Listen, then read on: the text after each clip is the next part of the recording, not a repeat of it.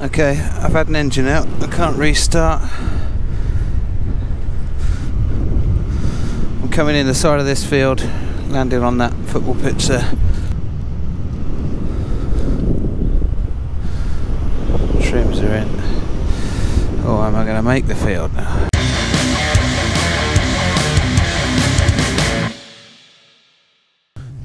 Okay, nil wind, wet wing. Let's get it. Thank you.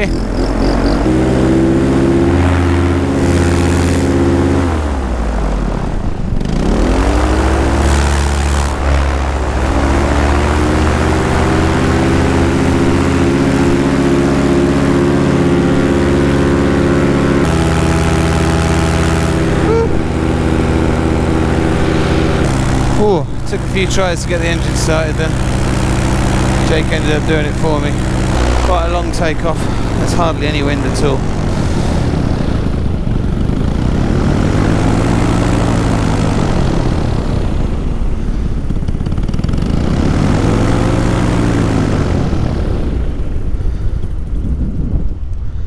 Oh.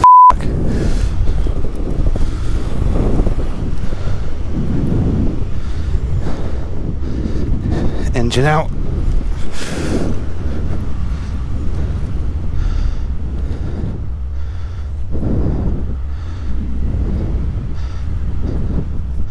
Nice fast landing. Slippery grass.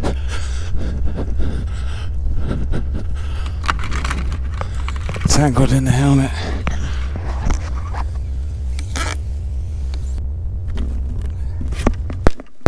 Okay, just had an engine out, I believe, due to just a, a motor that wasn't properly warmed up. I thought I'd restart it in the air, but I was too low to uh, have the opportunity. I sort of reached for the cable, reached for the pull starter, and then thought better of it. Oh, hot and sweaty on the ground.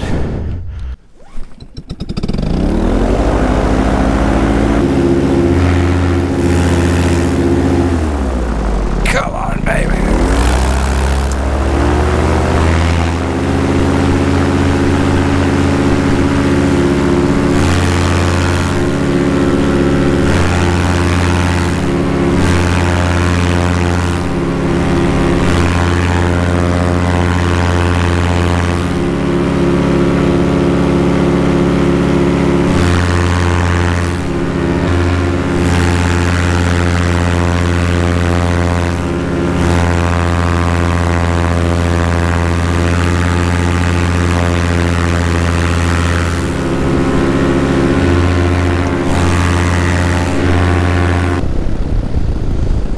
Down here we got Jake and Lee.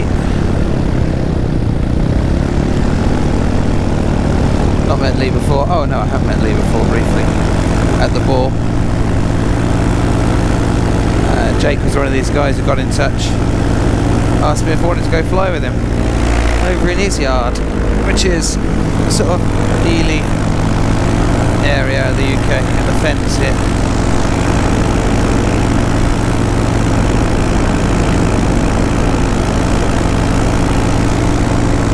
Smells like farmland.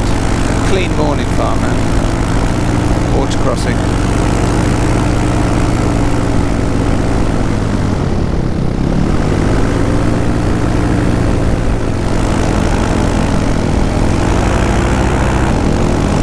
Lee just clipping in down there.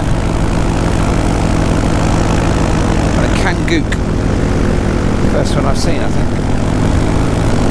Oh, I don't want to let it go to tick over just in case it dies again.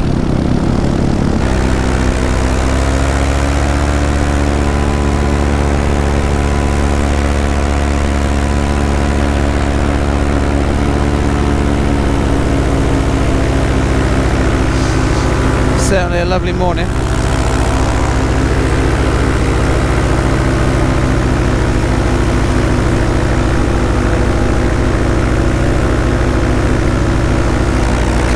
Like Lee's getting ready to go. Here he goes.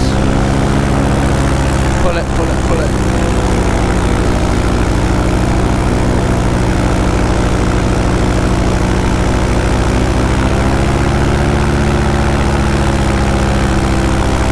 Beautiful stuff.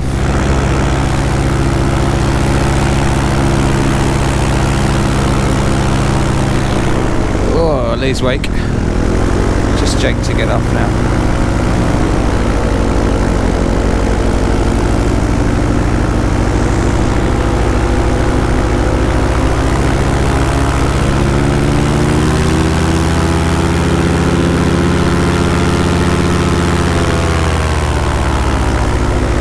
So I've driven uh, about an hour and 20 minutes away from my patch over to here. The plan is leave from here and uh, fly up to Winglands, about 30 miles I think. These guys have got some fuel sort of pre-staged up there.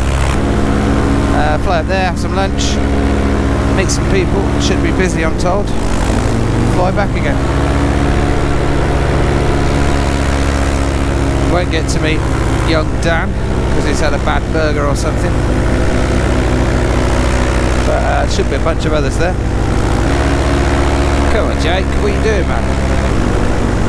Checking his wing. He's good to go. We're on it. Let's do it. Go.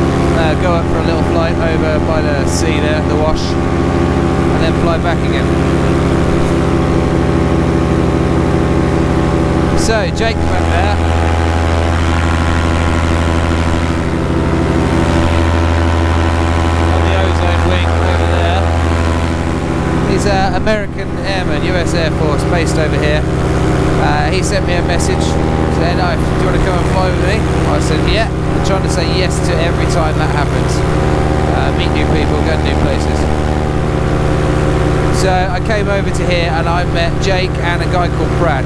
So Jake's been flying about the same time as me, I think. Uh, but he's got a lot more hours in, in that time than I have. So probably like 50% more at least.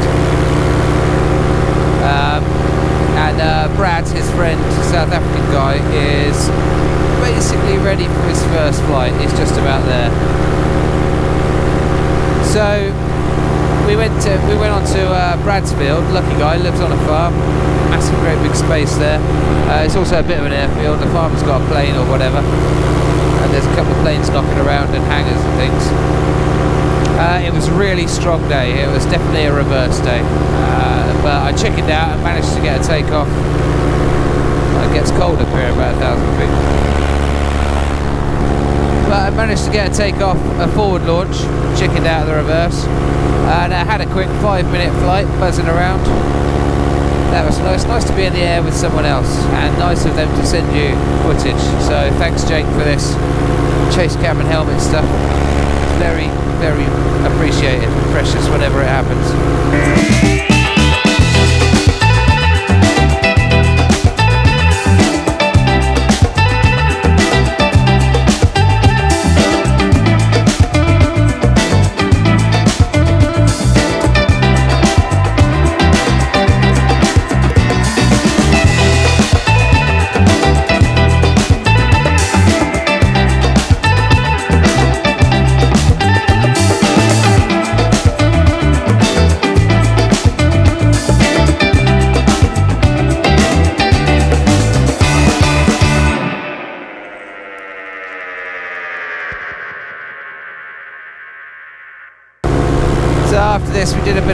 Handling, uh, we did a bit of towing for fun, Jake had some rope so we all got a pull. I think that that was Brad's first time in the air. Uh, he really enjoyed that. Woo! There we go. Oh! Hey, that's high. I like that. I like that a lot. Okay. hands up, let it fly. Yeah. Beautiful. And it was nice to uh, nice to mess around on that. And then the wind was still pretty strong, and I thought, right, I need to get these reverses sorted. You know, I've never had to do one. Uh, I've not done one since training. Uh, I was struggling to do it on this field, just ground handling. So I, uh, Jake knows his stuff with reversing. He's very good at it. So I said, right, can you teach me? You know, we've got in an hour. In an hour, I want to be doing a nice clean reverse and launch. He's like, yeah, no worries. So we get set up, get all set up to do that, and uh, the wind just picked up. It was just too strong, and I had like one or two tries to pull the wing up, and then it just dragged me. In fact, when I wasn't looking, it just dragged me, and that was it. Throttle on the floor, unclipped, risers thrown down, just instant grump. And that was about it for that day. Yeah, I always chicken out of reverses. It's been a couple of times I should have done it. Um, up in Yorkshire, one ended in disaster. And uh, yeah, another time I tried down at my field, tried a couple of times, didn't get it. Packed up and went home, so something I need to get sorted. And I will, I will. So a few days later I went over there again, we went to a different field this time, this one we just launched from. Uh, I thought I, I, the only reason I was over there was to get reverses nailed. But in the event it was too strong then too. The wind was like 10 gusting 21 or something. Uh, and it was all over the place, very variable, very, very variable. Um, Jake had tied some big ears into the wing, just like tied knots in the A-line so that it was permanent big ears, and it was still dragging me across the field, and Jake's a bigger guy, it was dragging him too, so we, uh, we just packed it away, played with the power kites for a bit, and then uh, went home. And that was it, that was my whole 2019 reversing saga so far this year. So we wait for another chance. I got one up there, and I got Jake above and behind me, getting me some sweet footage. These guys have both got speed bars, but they don't seem to be using them yet. Doesn't look like Lee has got his on. A thousand feet, chapping along above the Fens. Beautiful. So yeah, this area is the Fens. It is a massive flat area of England. It it was all like hundreds and hundreds of years ago. It was all marshland, and uh, over those few hundred years, there've been many efforts to drain it, and um, you know, back before the Romans and the Romans, with systems of like rivers and dikes and waterways being connected and allowed to drain. Uh, right up to, then they use steam engines, steam engines to pump water constantly, and now today there's like like 300 electrical pumps. Look at that dude over there. He's loving it. He's loving it. 300 electrical pumps uh, draining water from here. There he goes, pushing his bar. Yeah, quite a lot more speed there. Quite a lot more speed. I'm fully trimmed out.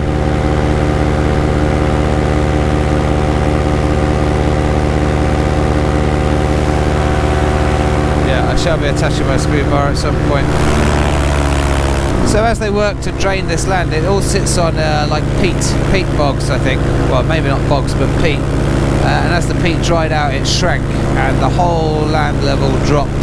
So some of it is now below sea level. Uh, and it's all protected. All the way across it you see these uh, drainage ditches. They're all dead straight. Ah, this thing we can see here if you look at it on a map it's like a giant scar across the, the landscape. So it must just be a big floodplain. I think there's a river either side of this, man-made rivers. Uh, one's called the Old Bedford River and one's called the New Bedford River, I think. I'm just shocked at that acceleration with his speed bar. Need to do that. The speed bar touches here, pulls on this, pulls this uh, pulley, goes on this pulley, pulls the changes the shape of the. Scary. Yeah, that's amazing, especially in this haze.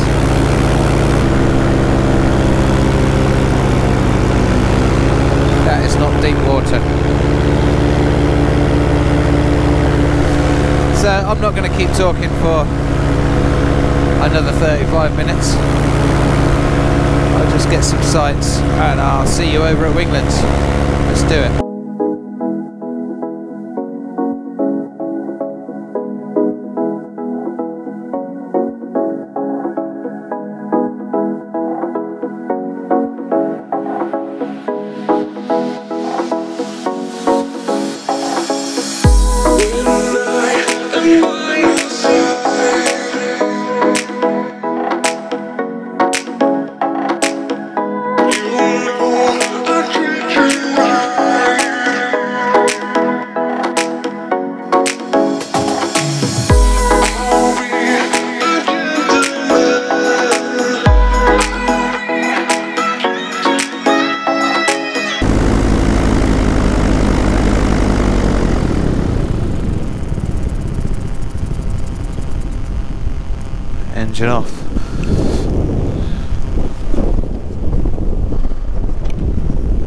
Just stalls as soon as I get it down.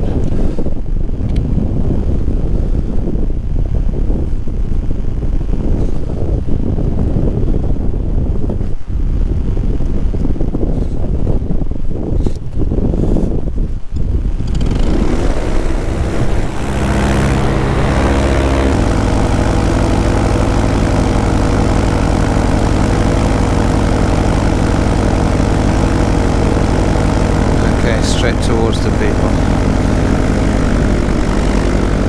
Try not to screw up in front of the people. Where the hell's Jake going?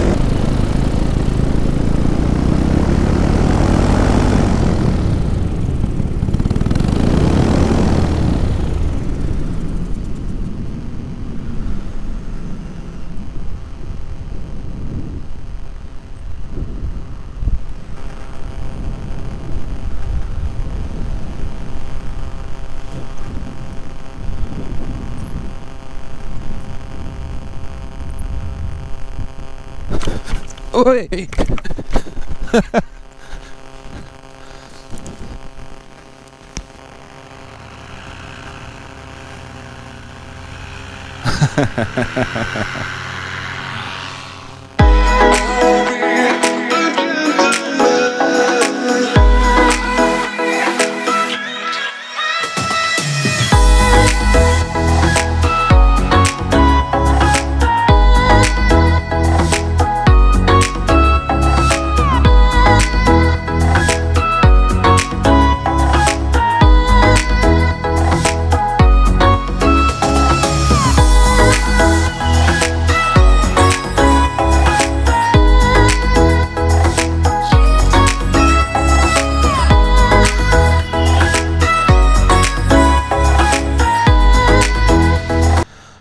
Jake.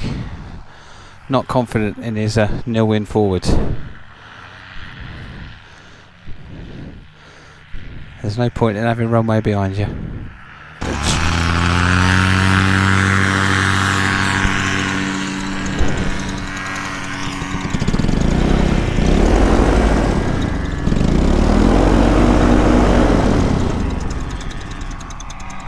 Fuck.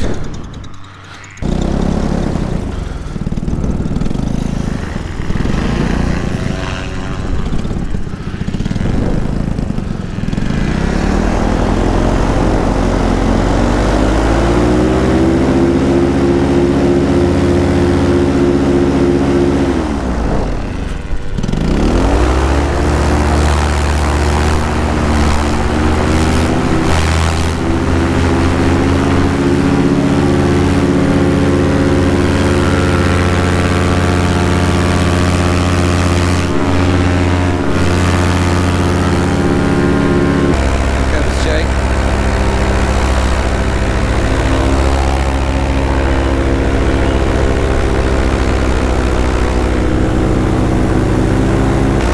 One, two, three, four, and me. So that was nice on the ground there. There's a bunch. It's like a fly-in almost. Uh, really nice considering that a lot of my stuff is flying alone. Met Sam Smith, linked to his stuff up here or here, here, I don't know, can't remember. Uh, videos with some good old English humour in them. So like on the way over there's this what appears to be a massive wall of where the visibility stops. It's like uh, it's like being in a computer game in the fog of war. This life is only rendering out to three miles. So this big chunk of airspace on my right here is um, an air weapons range, so uh, military bombing, strafing. Not active on weekends apparently, so nothing to worry about. Uh, this is the first time I've flown near the coast, I think. Yeah, I guess the closest would have been the Bore in Wales. I don't know if you can see it, but there's four paramotors there descending. It's also the first time I've had engine outs. Two today. One I was too low to restart, and the other one I had plenty of time to restart, and it restarted fine. So I think I need to adjust the tick over. Maybe it's come loose. It's just a screw with a spring on it. But if I go to tick over now, there's every chance that it dies. Yeah, it's died. So let's go for a restart. Don't do this to me. Come on, baby.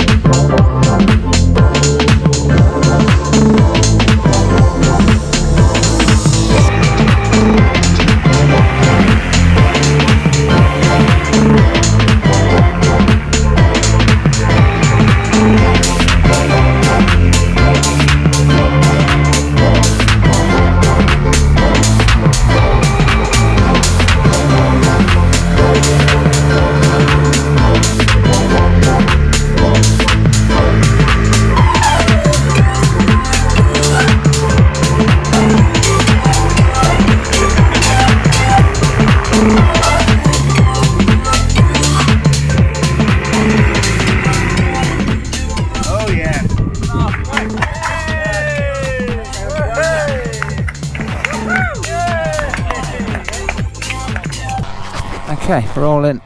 Leaving New England. I think a gust is reversible. A lull is forward. So we'll be going for a forward, especially in front of all these people. The wind's picked up while we've been here, so we're going to get off before it gets much worse. We're looking at an hour plus flight back.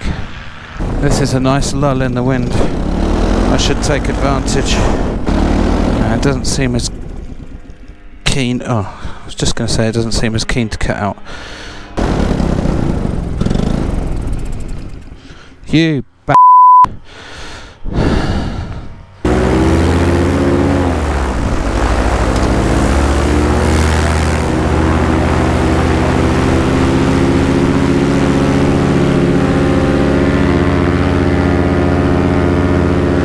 There's Jake. Looking good. Punch it, Bishop.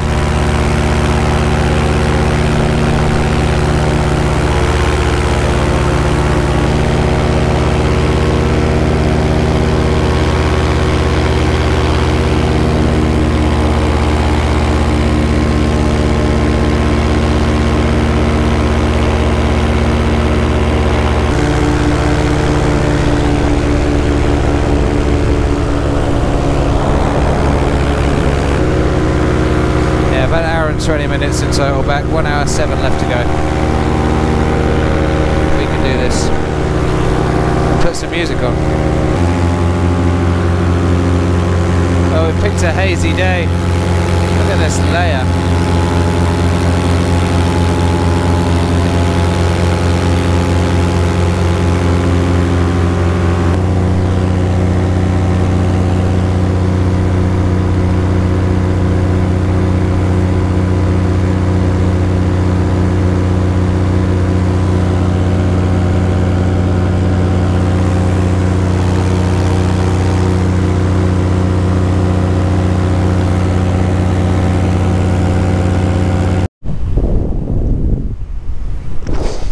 Okay, I've had an engine out. I can't restart. I'm coming in the side of this field, landing on that football pitch there.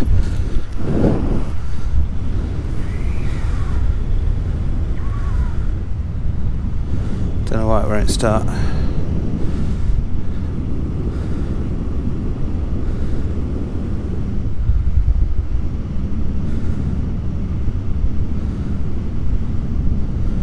Yeah, this is into wind. Send over this field. Plenty of room on there.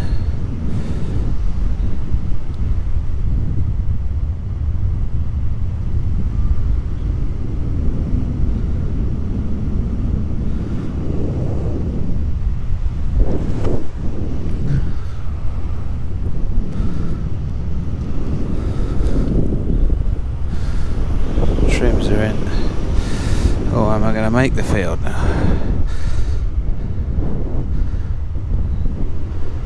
I think so.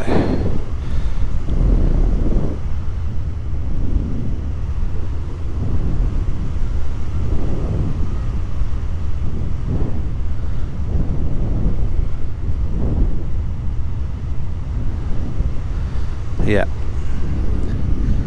Put a little turn in.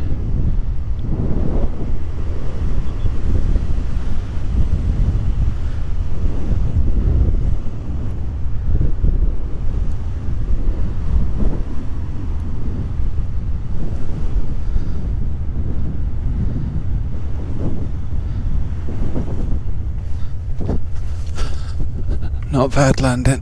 Put that down. Aviate, navigate, communicate. Let's ring Jake. First emergency landing. Landed out. Landed safe. I'm in a football field. There's a game on over there. Uh, I was all set up ready to try and launch again. But the problem is, I'll show you if I can turn this camera around. So in here, focus, carburetor, air intake, and this rubber tube split I can see inside there. Uh, so no amount of trying to restart it is going to restart it because it's just sucking in too much air. instead of fuel air mixture from the carb. So I phoned Jake, he's about 15 minutes out from the landing, he's going to come and pick me up. Uh, there are spare ones of these knocking around, I've got a friend who's got one spare that he doesn't need anymore. So get that back on and we should be all good. But meanwhile it's the walk of shame to the edge of the field over there and wait by the road for someone to come and rescue me. But there you go. First engine out, land out, got it down all right. I was plenty high enough. I was at about 2,000 feet. Um, tried to restart for ages. Couldn't work out why it wouldn't restart. But uh, that was why. Bloody great hole in it. So I'm just glad it's not anything serious. Uh, and it's just replaced that bit of rubber and we should be good. Meanwhile, I try and find a shop. I'll uh, talk to you later. This is me. Football match going on over there. And then just here is the pile of shame. Uh, Jake should be landing about now. It's about a 35 40 minute drive for him to get here. Oh, it's a lot better when you make it where you're going.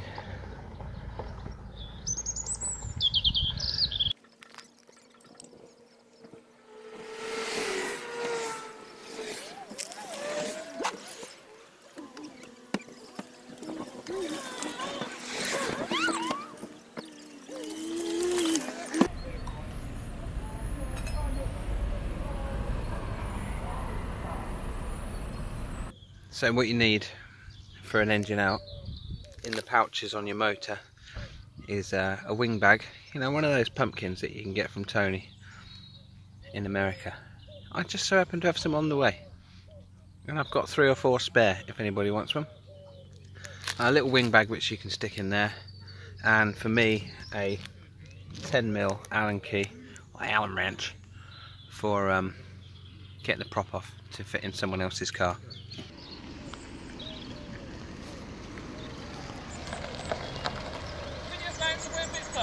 Thanks for coming to pick me up.